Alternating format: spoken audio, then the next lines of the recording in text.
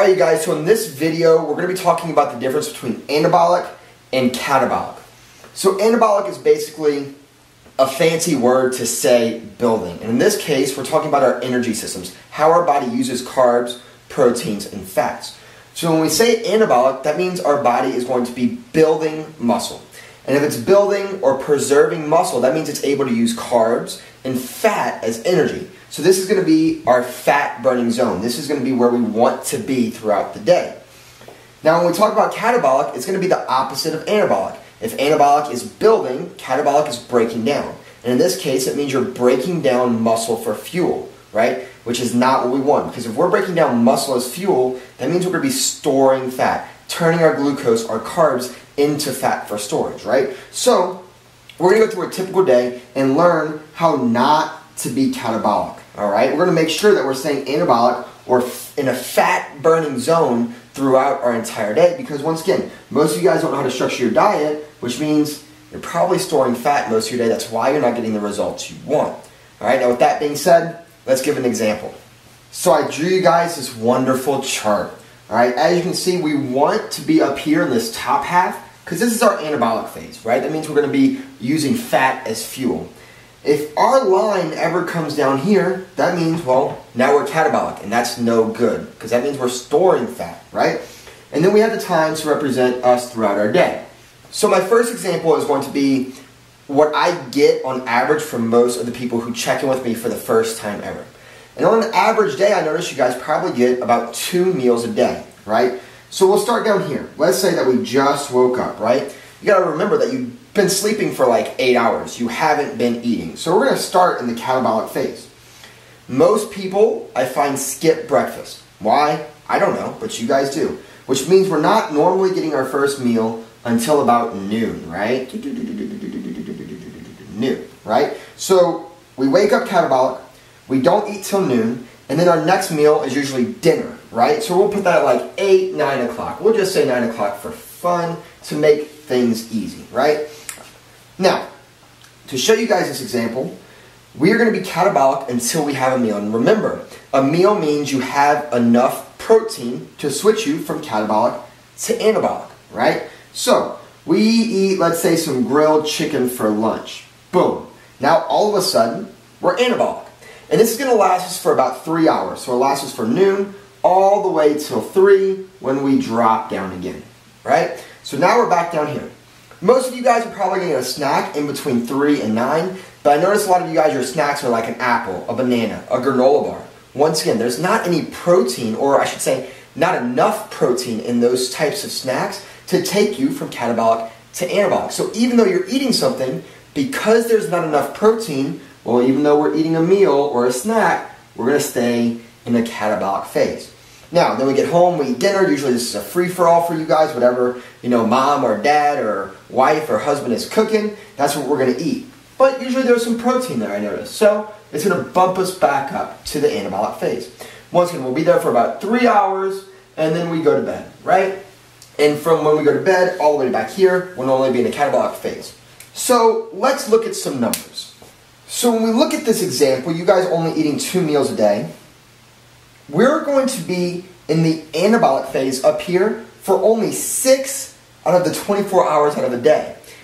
That comes out to be about one fourth of your day. So now you're spending three fourths of your day, the majority of your day, storing fat. Does it make sense why you're not getting the results you want yet? Does it make sense why you're holding on to fat so much? All right? When we structure our diet, we got to make sure that there's enough protein throughout our day. This is why. All right, so now let's look at an example of what you guys should be doing, spreading out this protein throughout your day. So we're still going to start in this catabolic phase because it doesn't matter what you're doing. You've been sleeping for at least three to four hours, so we're going to be starting in this catabolic phase. The difference with this person is they're going to eat a meal right when they wake up, right for breakfast, which is immediately going to bump them up, right? Then we go throughout our day. We'll get really close to going back under because this is four hours. But we're going to eat another meal here, so it's going to bump us boop, right back up. Okay? We're going to make sure we get a snack three hours from there. And this snack could be, you know, a protein shake, a protein bar. Hell, you could have another meal, chicken and rice, veggies, things like that, right? So we're staying up here in this anabolic phase. Now, for those of you guys who are working out, you should be working out. You're probably going to drink a post-workout po- protein shake. I notice a lot of you guys probably work out around 5, 5.30, which means 6, 6.30 you'll be drinking that protein shake. Now, although it's not a meal, it'll be more of a snack, there's enough protein in there to keep you anabolic, right? And you know what? Even if you don't work out, you should still be getting some kind of snack or meal again right here. And then, of course, this person's still going to eat dinner, right? Boop and it's staying anabolic. And then they'll stay anabolic for three hours until they go to bed. Right? So let's look at the math on these numbers. So you can already see that now you're going to be in the anabolic phase 15 out of 24 hours versus 6 out of 24, right? Let's break that down into percentages. That's going to be 62.5% of your day you are spending burning fat. Think about how much your body would change. That's crazy, right? This is the concept I have so much trouble getting people to understand.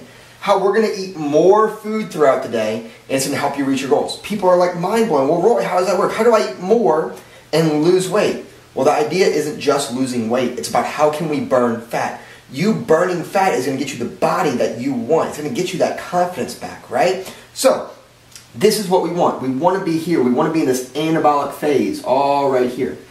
So the biggest question I get though is, well, Roy, I don't want to eat that many meals because I don't want to eat that many calories. That scares me. Well, let's think about this. If your plan has you eating 1,800 calories a day, you can eat one meal and get 1,800 calories.